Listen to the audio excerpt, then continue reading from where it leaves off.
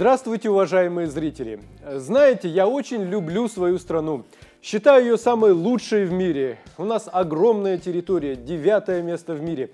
Также на девятом месте мы и по запасам нефти. По производству зерна и муки мы входим в мировую пятерку. В недрах нашей земли есть практически вся таблица Менделеева. Все, что хочешь. И нефть, и газ, металлы, золото. Да всего и не перечислишь. Причем все эти природные ресурсы у нас имеются в огромном количестве. Все, что я перечислил, конечно же, повод для гордости. Но, к сожалению, на этом наши поводы заканчиваются. Ну, скажите, чем еще мы можем гордиться? В современном мире гордятся развитой экономикой, стабильной и сильной валютой, мощным промышленным производством. Что из этого у нас есть? Вот скажите мне, с чем ассоциируют Казахстан за границей? Кто-то скажет Геннадий Головкин, кто-то скажет Димаш. Пожалуй, и все. Расскажу пример из собственной жизни. Несколько лет назад я поехал по делам в Москву и встретил там одного шведа. Мы разговорились, и он у меня спрашивает, а что вы производите? Какие известные марки одежды, автомобили или бытовой техники у вас есть? Тут во мне проснулись далекие еврейские корни, и я задал встречный вопрос, а у вас? Эх, лучше бы я этого не спрашивал. Автомобили Volvo и Saab, знаменитые упаковки Tetra бытовая техника Electrolux, телефоны и модемы Ericsson, одежда H&M, косметика Oriflame, мебель Ikea и...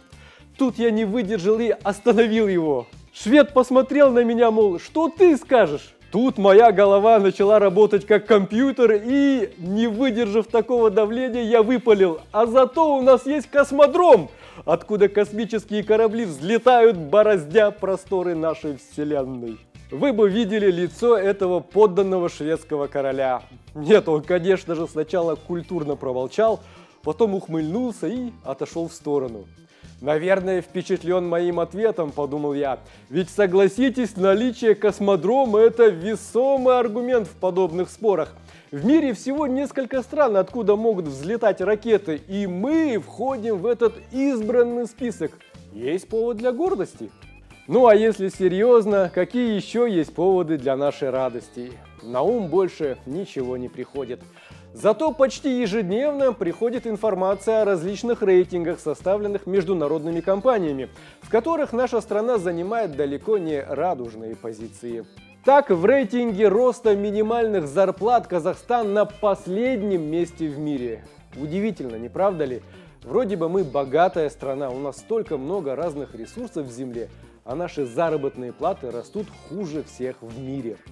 Вот недавно бывший министр труда и соцзащиты населения Тамара Дюсенова тоже признала, что у нашего населения слишком низкие доходы. Поехали дальше. В рейтинге социального прогресса Казахстан занял 69 место.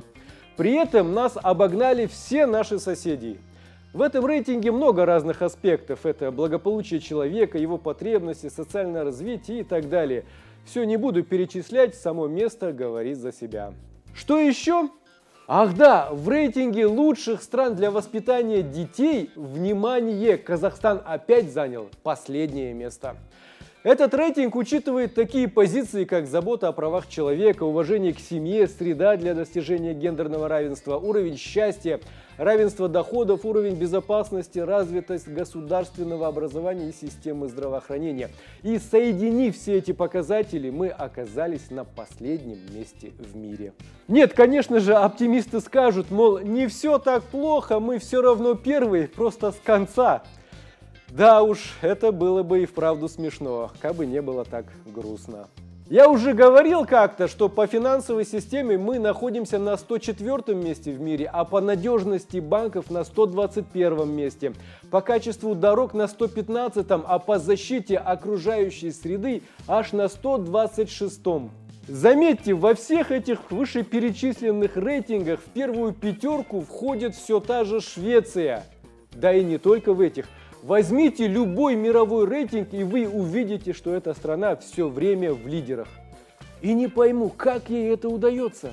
Занимая маленькую территорию на севере Европы, имея небольшое население, практически не имея никаких природных ресурсов, эта страна одна из лучших в мире, если не самая лучшая. Будучи конституционной монархией, там правит король Карл XVI Густав, Шведы смогли построить у себя мощное социальное государство, где потребности и заботы простого человека на первом месте. Есть даже специальная экономическая система под названием социализм по-шведски. Ну а что же мы? Остается только успокаивать себя, что мы еще молодые и у нас все впереди. Ведь той же Швеции уже 500 лет. Конечно же, они за это время смогли построить у себя социальное государство – а нам всего лишь 29. Вот будет нам 500, тогда и мы будем жить как шведы. Остается только дожить до тех счастливых лет. Всего вам доброго.